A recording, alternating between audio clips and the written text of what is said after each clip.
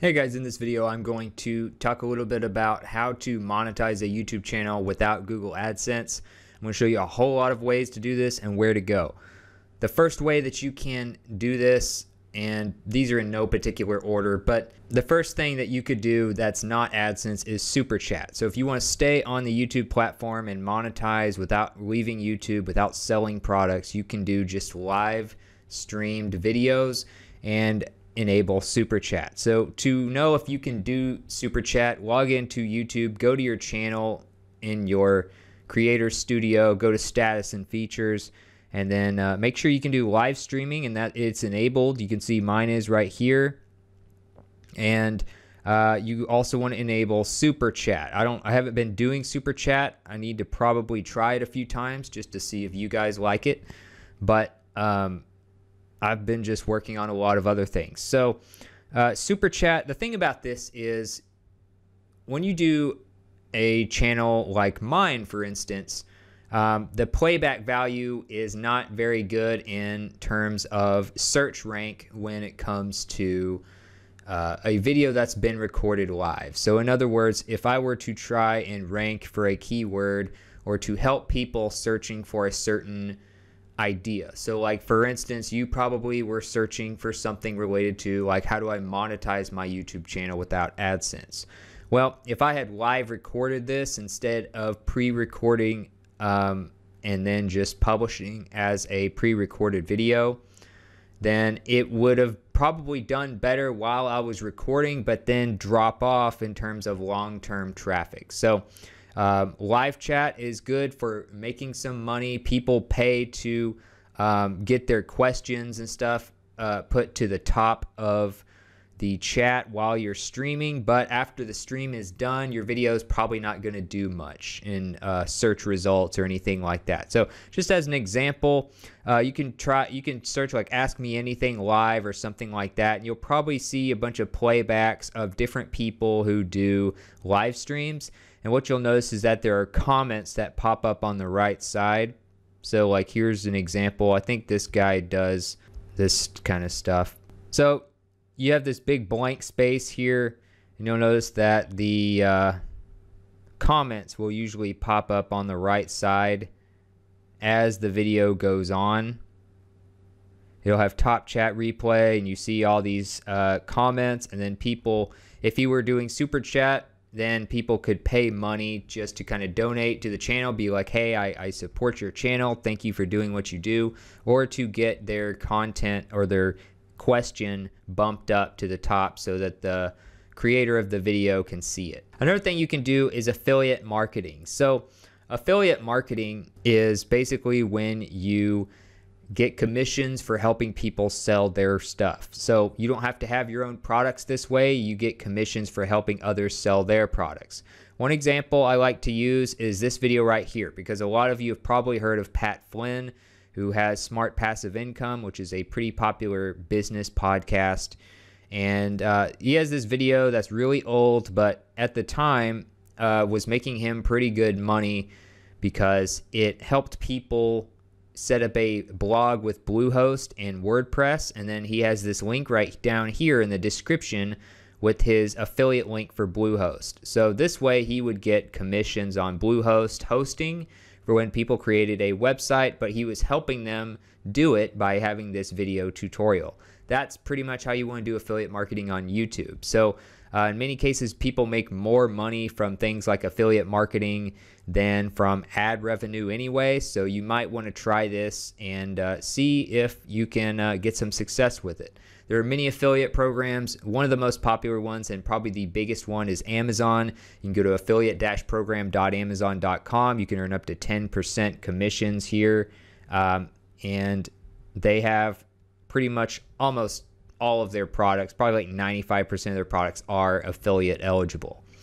So that's another way you can do it. And that's kind of, this video is an example of how you can turn this into a video format and then just put the affiliate link in the description. Okay, number three, you can do YouTube sponsors. So you have to let YouTube know when you have uh, sponsors in the video or uh, you know, some kind of relationship with the company that you're talking about in many cases if it's a sponsored video. So famebit.com is a place where you can find sponsors in the first place.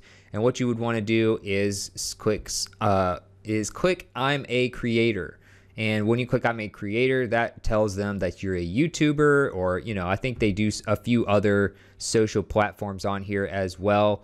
But uh, you can create as a YouTuber and get sponsors. So basically, they'll they'll be uh, looking for creators that are popular and have a certain type of audience and uh, demographic that they get views for, and they will want to advertise their product, and you'll have you'll make a video for them in exchange for money that talks about that product or that company or whatever. So that's another thing you can do is get sponsorships and FameBit is one place where you can find sponsors. Number four, another thing you can do is get people to subscribe and become members of a paid version of your channel. So basically you can get ad revenue, you can get affiliate marketing, you can do super chat and all that stuff as usual with YouTube, but you can also have people become a member and pay monthly to get exclusive content that is better than the normal content or is more um, personalized or whatever. So, for instance, um, just as an example, there's a channel called uh, Graham Stephan, and this guy gives you investing advice pretty much in uh, finance advice. That's pretty much what his channel is based on. He's got about 900,000 917,000 subscribers, but you'll notice that uh, they have a join button next to the subscribe button. When you click join, you can sign up for $5 a month and uh, get a few perks, but you can ask him questions directly. You can probably get more in depth investing advice. I don't know exactly what he does, but you know, you can, for an informative channel like this one, you could give more advanced tutorials and advice and actually take questions uh, from individual people in certain situations. And uh, people pay $5 a month for that. So if you want to get membership uh, revenue, you can do that directly on YouTube. You'll have to go to your creator studio to do this and enable it if you're eligible. Now, for instance, this channel in particular is not eligible for whatever reason. I've never really uh, looked into that myself, at least not here lately. Um, but you can click learn more, read more about it, and uh, become eligible. Just do what you got to do to get there. And then you can start giving exclusive content, and uh, people will pay you like $5 a month each. Okay, so some YouTubers um, actually use YouTube as a means of getting clients, and they don't actually care about monetizing their YouTube channel like a normal YouTuber would. So they're not really YouTubers necessarily. They're just uh, they're professionals trying to sell their skills or something along those lines. Their services of what, like lawyers, for instance. Like some lawyers will do this. Um, they'll get clients through YouTube by just giving, uh, you know, advice in different situations, answering common questions in YouTube videos.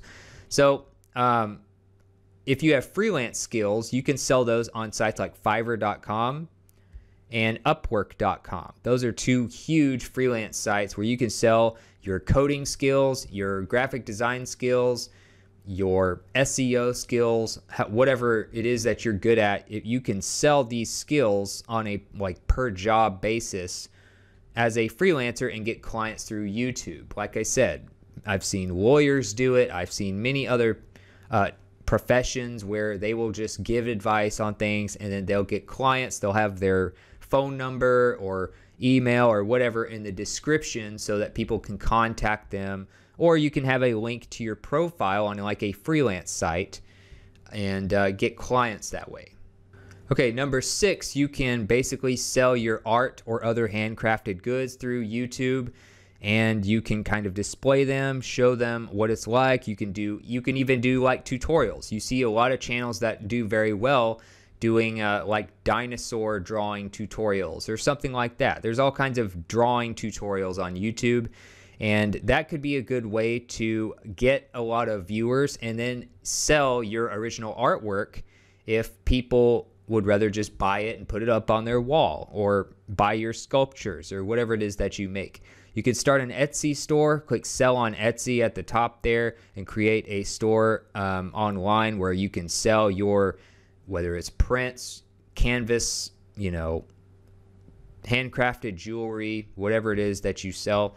You also have Amazon Handmade, which is another one. I believe they take high, highly, um, I believe they take slightly higher fees than Etsy, and both of them, of course, are going to take their uh, cut for being the platform that you're selling on, but um, it's it's still less maintenance than having your own website and doing it that way. Eventually, you'll probably want to have your own website uh, once you've built a customer base, but you can start out by selling on Amazon Handmade and uh, Etsy by just signing up on those sites where they also have a huge amount of users already. So you should get more traffic this way. But you can you you can do uh, drawing tutorials, you can do um, reveals and all kinds of stuff on YouTube to get your traffic to those different uh, product pages.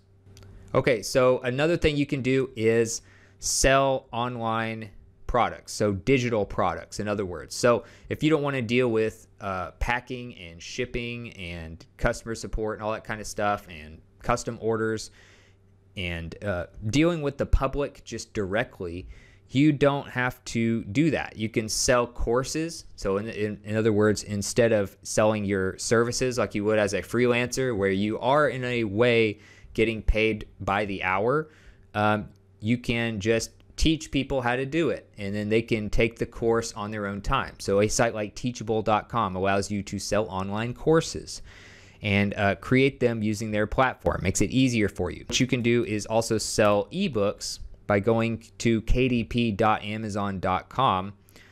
And ebooks, of course, are, you know, you might make it like $10 or so for an ebook, 5 to $10 maybe, and then sell these to teach people how to do something or if you're if you're really creative, you could maybe try and do a a fictional novel or something. But um, you can sell digital products and you don't have to worry about a lot of the expenses or the stress of creating physical products. And then you can use YouTube to get traffic to these. So you would be like if you were uh, creating a, a, a, YouTube channel about how to uh, build a YouTube channel. So, like if you've ever heard of video creators, for instance, they have a channel that is all about improving your YouTube presence. And then they might sell courses that go more in depth about YouTube tips, strategies, and how to build a very successful channel. Another thing you can do is sell music. So there are a few different ways to do this. Through YouTube, you could uh, sell stock music, you could play examples of it on your YouTube channel and just put like a static image as your visual, or you could have yourself playing the music as your visual, however you want to do it. But a site like premiumbeat.com is a great place to sell um, stock music where people can purchase the rights to use it as a background or whatever they want to use it for. They might use it as a background for their podcast or their YouTube videos or whatever. Another thing you can do is uh, look at a site like Frog Leap Studios. So Frog Leap Studios has over 3 million subscribers and a lot of their revenue comes from, you know, ads and selling music and all of this kind of stuff. But they have a very successful brand that involves them. They make money from uh, doing covers of famous songs and making them like a different genre. So what they do is they take a song in one genre and then convert it to metal and they do it themselves and they record themselves doing it so it's like a music video. And then they also sell their songs on like iTunes and stuff like that. And then, you know, they make money off of behind the scenes videos and those types of things. So Frog Leap Studios, I would recommend you look at some of their videos as well. And then you can also uh, sell your music by just going to wherever people buy music, like Google Play, Apple, etc., and uh, submit your music to be purchasable. And like Google Play, for instance, you can go to play.google.com slash artist, and then they will recommend that you use one of these kind of like third party sites to uh, sign up with, and then they help you distribute your music. So you got TuneCore, Stem, DistroKid, Believe, all these different uh, kind of third party sites that help you get your music on the uh, places where people can purchase it online. Another strategy for making money from me, uh, from YouTube videos without actually dealing with AdSense is Patreon. And Patreon is another way for you to kind of get memberships and do exclusive content. So if you're not really liking the idea of the YouTube membership or maybe you're ineligible, then you can go to Patreon and you can offer exclusive content on Patreon and people can pay $5, $10 a month, whatever it is that, um, you know, you set it up for and whatever perks you allow on there. And then you can get more of a consistent income than you might from ads because you know how much people are paying and you know about how many subscribers you have. And if you keep giving more and more really good um, exclusive content, then people will stay subscribed. So patreon.com allows you to do that. Just click create a Patreon up there in the top right. And uh, that's one way that you can also monetize um, without having to deal with the eligibility factor on YouTube memberships. Okay, the 10th way that you can monetize your channel without having to deal with AdSense is merch. So you can sell t-shirts, but you can do so much more than that now. You can sell coffee mugs, you can sell uh, pretty much apparel of all sorts. You can sell leggings, you can sell hoodies, you can sell phone covers. You can turn your designs that um, your audience on YouTube loves into all sorts of products using a site like Teespring and many others. You can directly put them on your videos and sell them at the bottom of your videos. Or you can just have a link in your description and people can go to your store that way. But if you use a site like Teespring or Redbubble or something like that, they can make it easier for you to sell because you don't have to deal with manufacturers directly. You can basically just uh, have your products bought, and then that company like Teespring will print it, pack it, and ship it to the customer, and then they just take a cut of every purchase that you have. So they can take a lot of the headaches out of this kind of uh, business where you have merch and you're selling it through YouTube or however you're selling it. And uh, then maybe in the future you have a deal with a manufacturer or something as you as you grow. But here are a couple of examples. So Markiplier is a gamer who is very popular, has 24 million subscribers, and you'll notice that he has like a uh, a bunch of links in his description, and you'll notice that one of them is uh, says my comfy clothes and then you can go there and uh, purchase different clothes that um, he'll make money off of. So you can do a direct link in your description like that or you can use uh, one of the kind of partnered brands with youtube that uh, allows you to directly purchase shirts and stuff in the description of a channel so like this channel, they have, uh, you know, they have these different shirts and you can look at them without leaving the YouTube page and then you can click the one you want and go straight to the purchase page. So those are two different ways to do it. You can have a link to your store or you can use one of the ones that's partnered with YouTube and uh, do it that way. Another way that you can monetize your YouTube channel without AdSense is coaching and consulting. So you can literally just get paid to give people advice or you can get paid to uh, consistently help people to reach a certain goal. So you might be a fitness coach. You might have a fitness channel where you teach people how to do different exercises and you give tips. And then you might have a coaching service where people can pay, you know, a hundred bucks a month or something for you to do uh, monthly calls on Skype or whatever video chat platform you have, you'll probably want to do something like that so they can show results and you can give live advice face to face. And you can do that. You can be like a personal trainer online without having to be there in person and uh, be limited to a local uh, fan base.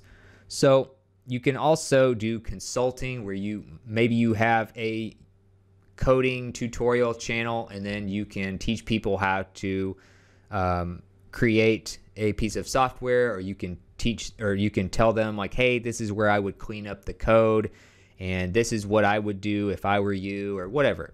So, co- coaching and consulting are two things you could also sell on YouTube. For this, uh, there's not really a great website or platform that I know of where you can just sign up as a coach and people go pay you for coaching. I think there may be a couple out there, but I don't think they're really mainstream or super popular yet. Um, but I would recommend you just have your own website for this. So you can sign up through uh, something like WordPress, which is what I use, and about 30% of the whole internet does now. But uh, selfmadesuccess.com, I have a start a blog uh, page here that will teach you how to set that up. Or you can go with something like, you know, Foursquare or, you know, whatever the other website builders are, Wix, Weebly. Um, and then you can have something like Skype or some kind of, you know, Google Hangouts or something where you can do a video chat, is what I recommend. And then last but not least, you have things like shout outs. So basically, you can help other YouTubers grow their YouTube channel and you can get paid by mentioning them or by doing a collaboration. So a, sh- a, a, shout out um, could help other YouTubers in many cases. You could even do it on Twitter. You don't necessarily even have to do it directly on YouTube, but Shoutcart does cover influencers on all different platforms. You have YouTubers, you have Instagram users, that's another really popular one. You have Twitter. Those are three of the more popular ones for doing shout outs like this. But shoutcart.com allows you to kind of find these people that will be willing to pay you for shout outs once you've kind of built your brand on YouTube. So that would be another thing you can do. Um, an example, it's hard to give an example for this, but um, you could maybe do something like Video Creators, which is a great channel um, where they help you build a YouTube presence. But uh, they have a thing where um, the main guy for the channel has guests on all the time. Now I don't he probably doesn't do shout outs and stuff. He probably just does like, "Hey, I'll help you, you help me. I'll just have you as a guest on the show to help us both create content." You can do that as well. But uh, you'll notice that a lot of these have uh, guests that you may recognize from other YouTube channels. So he'll do uh, collaborations all the time with other popular YouTubers that you would probably recognize. And uh, with a site like Shoutcart or something like that, you could actually get paid for that instead of just doing it, you know, as a collaboration where no one gets paid. It just depends on how you want to do it. So those are a bunch of different ways that you can monetize your YouTube channel without having to deal with AdSense. A lot of YouTubers actually admit that AdSense is just a very small percentage of their revenue anyway. And in many cases, it's hard to live off of AdSense unless you're just really good at consistently ranking for keywords that are high paying by advertisers, or you're just really good at like PewDiePie at being entertaining. So if you want more tips like this for YouTube, check out that playlist in the top right on the video. And also go to selfmadesuccess.com if you need links that I mentioned in this video and uh, all the show notes that you need. So, other than that, I hope this was helpful for you, and I will see you in the next video.